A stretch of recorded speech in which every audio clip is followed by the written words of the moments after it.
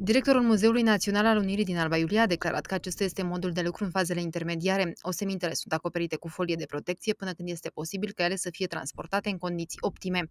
În ultimele zile, arheologii au fost nevoiți din cauza ploilor să oprească lucrările. Până în acest moment au fost identificate 800 de complexe, adică morminte, locuințe și gropi de provizii. Potrivit IPJ Dolj, gropile se întind pe aproximativ un kilometru, iar paza acestora este asigurată de o societate de pază angajată de firma care efectuează lucrările la tronsonul 1 al drumului Express.